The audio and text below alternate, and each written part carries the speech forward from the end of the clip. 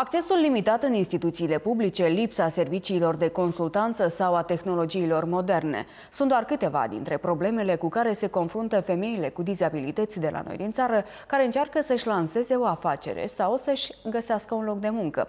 Cel puțin asta arată datele unui studiu la care au participat peste 500 de femei. Totuși, curajul și determinarea le-a ajutat pe multe dintre ele să-și dezvolte abilitățile profesionale.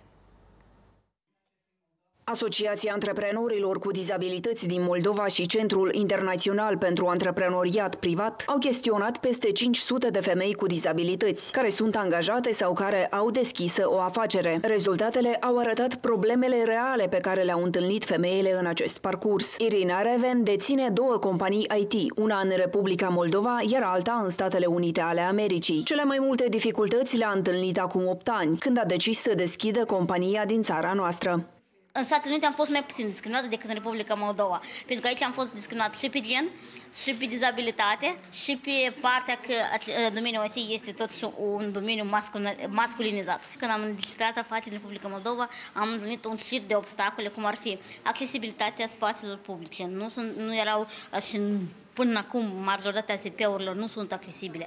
O, un sistem birocratic foarte um, greu. Mariana Tihu din Găgăuzia este dependentă de un scaun cu rotile. Acum ea dorește să-și deschidă propria afacere în domeniul frumuseții.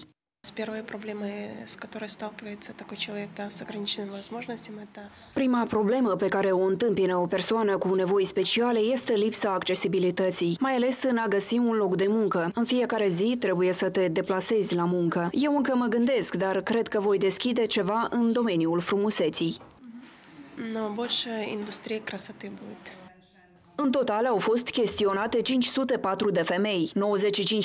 95% dintre acestea consideră că persoanele cu dizabilități se confruntă cu probleme mari în gestionarea afacerilor. Principalele probleme fiind accesibilitatea în instituțiile publice, lipsa programelor de susținere a persoanelor cu dizabilități și corupția.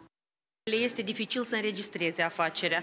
Uh, și o altă dificultate pe parcursul uh, de uh, administrării afacerii este lipsa de informație, um, incapacitatea de a planifica strategic. Statistic vorbind, femeile în general se confruntă cu o discriminare mult mai ridicată decât bărbații. Rezultatele studiului nostru ne-au arătat că femeile cu dizabilități, pe lângă uh, toate stereotipurile cu care se confruntă din cauza dizabilității, mai sunt încă discriminate și pe criteriu de gen.